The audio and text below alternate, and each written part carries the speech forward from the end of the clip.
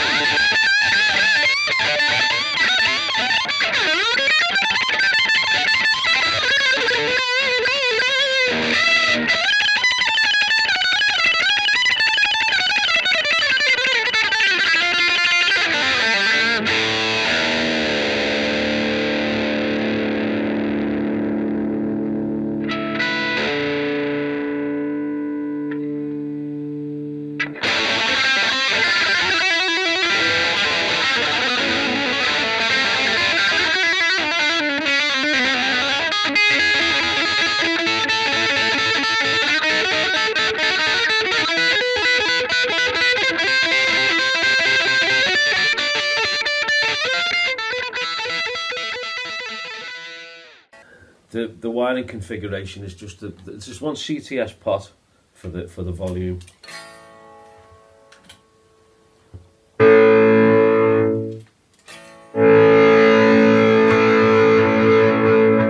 And then there's a there's a push push, and what that does is uh, change the the neck so that it's either either in parallel or series. Well, that's series. And that's parallel.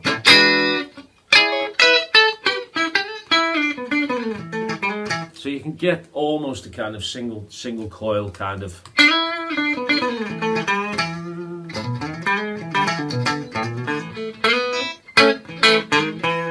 nasally twang.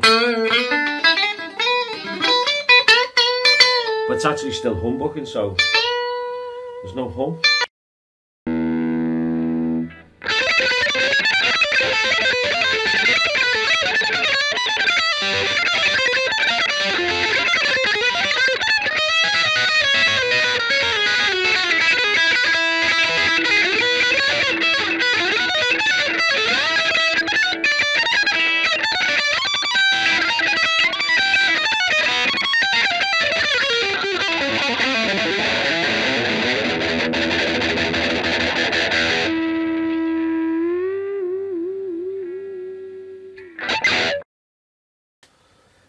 I refinished it a couple of times. I refinished it about five years ago. Took all the finish off that was on it and uh, cut the, bent the, the edges off there and put some binding on and uh, stained the whole thing this this um, reddish, I don't know, brownish colour.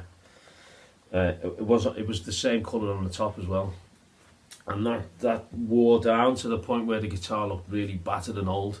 So it's now got this this nitro finish on it, which is quite nice. I'm quite pleased with it. I did it myself. Uh, it's not perfect by any means, but it looks the job. Uh, I spoke to a friend who's, who's um, a luthier, and he, he gave me some ideas about what to do. And um, so this is the result. Pretty pleased with it. It's got um, obviously it's got two humbuckers in it. It's got a, a volume and a push push uh, switch tone control.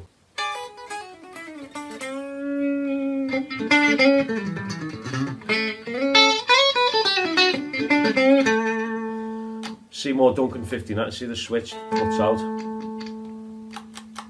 It's the same switch that came with the guitar, so.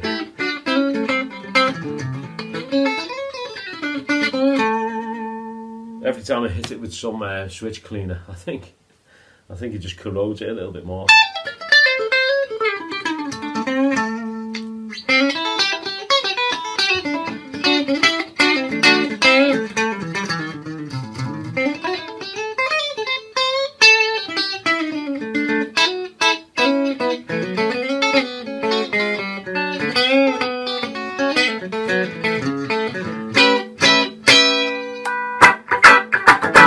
Pretty good spank for a humbucker.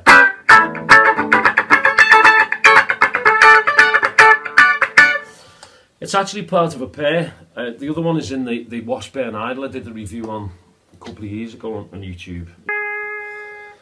So this this pickup uh, went into this guitar about I don't know three months ago. I've gigged with it since. Uh, I, I, I liked it straight away. It's got a different character.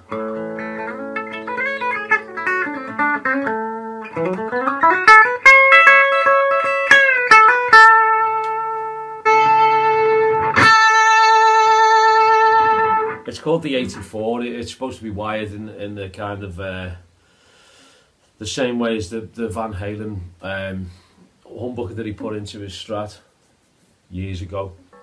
84 was was the album, wasn't it, with uh, Drop Dead Legs and Jump in Panama.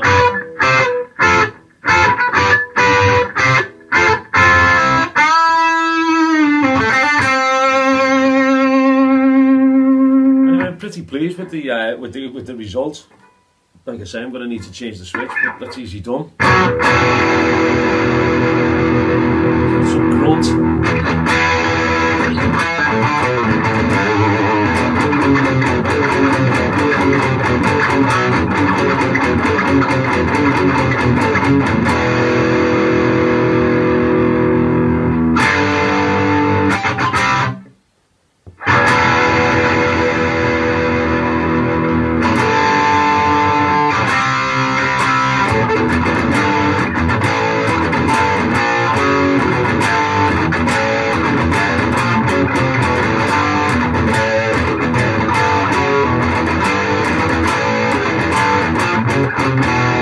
So I, you get that nice beefy uh, bit of Metallica there. You've got that nice beefy, boomf, heavy. Um, and then it's, the definition is really good from the from the.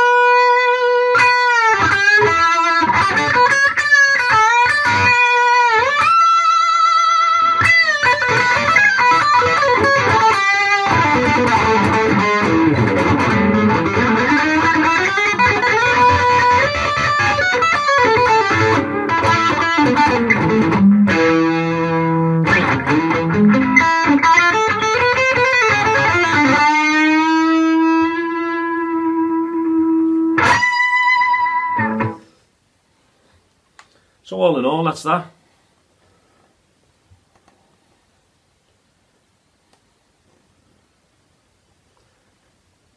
I used to, uh, the, the bridge was um, covered in, you know, underneath, underneath the, the, it's just really dusty, so, so every now and again I put, I put a, one of those, um, you know the the cotton bud things that you put in your ear to clean your ear put put inside there and, and it, but then after a while it gets kind of caked so put it in the dishwasher which worked really well it's come out nice and uh, shiny but the, the chrome finish is starting to wear off now and, and uh, there's another bridge on the way